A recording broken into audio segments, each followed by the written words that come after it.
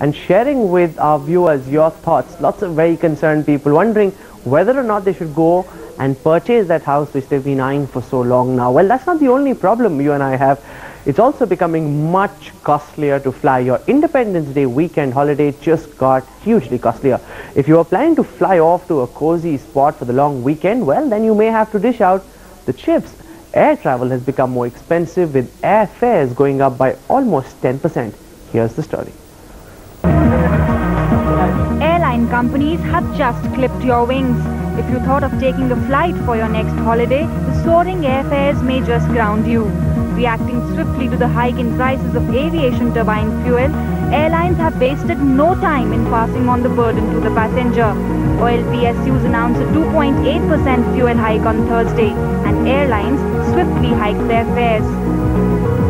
Air India hiked economy class fares by 5% and business class fares by 10%. Jet Airways on the other hand hiked economy class fares by 10% and business class fares by 5%. Kingfisher Deccan have raised fares by 10% across the board. Low-fare airline SpiceJet is also contemplating a hike.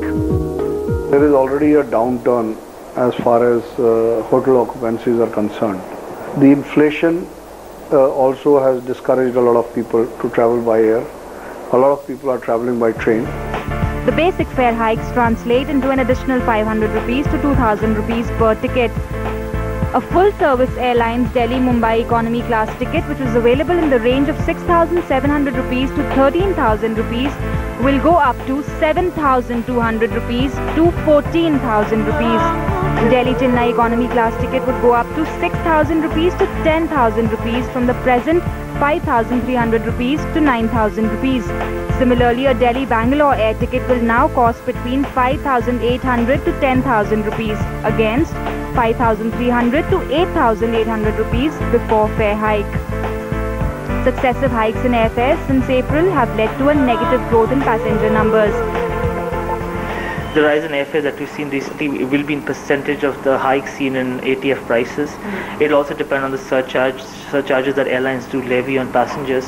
However, um, I think one can make a base estimate of it going up between 5 to 10 percent.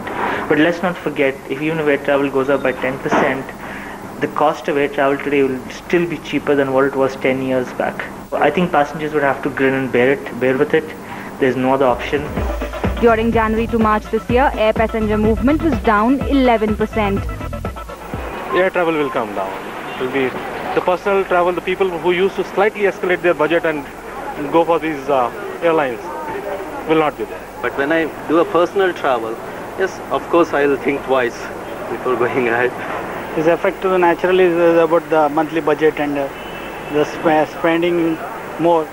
When it affects to the tools and everything, you have to cut out this tours and. Apart from hiking fares, airlines are also having to cut down on the overall number of flights in order to cut down on mounting losses. And all this certainly means bad news for common man. In a booming aviation industry, it isn't just the jets that soar. There is just no stopping the price of air travel. And no matter where this levels off, it's travelers like you and me who'll have to think twice before catching that next flight. Tavleen Singh in Delhi for Headlines Today.